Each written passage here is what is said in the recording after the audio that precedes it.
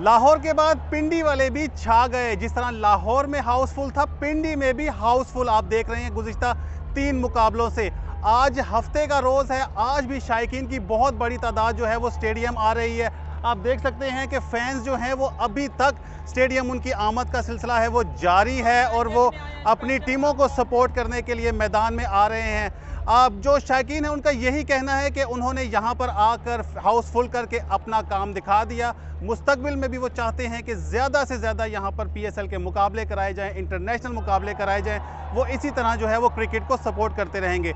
आज flood lights में Pindi cricket stadium में पी एस एल एट का आखिरी मुकाबला है और अगर आज मैं आज के दिन की बात करूँ तो पहले ख़वान की जो क्रिकेट लीग थी, उसके नुमाइशी मैच जो हुआ, आखिरी मुकाबला जो कि अमेजोन ने तैंतीस रन से जीता सुपर वुमेंस के हरा कर और उन्होंने ये जो है ट्रॉफ़ी भी इस नुमाइशी मुकाबलों की जीत ली। मुल्तान सुल्तान और कोयटा ग्लेडिएटर्स के दरमियान इस वक्त पिंडी क्रिकेट स्टेडियम में मुकाबला जारी है। दोनों टीमों के लिए बहुत अहम मुकाबला है, क्योंकि मुल्तान की टीम अगर जीतती है तो वो सेकंड पोजीशन के लिए जो है वो कंटेंशन में रहेगी, जबकि कोयटा की टीम जो है वो बाहर हो जाएगी। अगर कोयटा बाहर होता है तो पिशावर की टीम ऑटोमेटिकली क्वालिफाई कर जाएगी।